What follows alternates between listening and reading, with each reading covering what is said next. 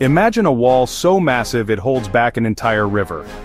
The Three Gorges Dam is the biggest in the world. And it powers over 60 million homes. Located on the Yangtze River in China, the Three Gorges Dam stretches over 2.3 kilometers long and stands 185 meters tall. It's made of over 27 million cubic meters of concrete. That's more than any other dam on Earth. Construction began in 1994 and took nearly a decade. It includes 32 massive turbines, generating up to 22,500 megawatts of electricity. That's more than the output of 15 nuclear reactors combined.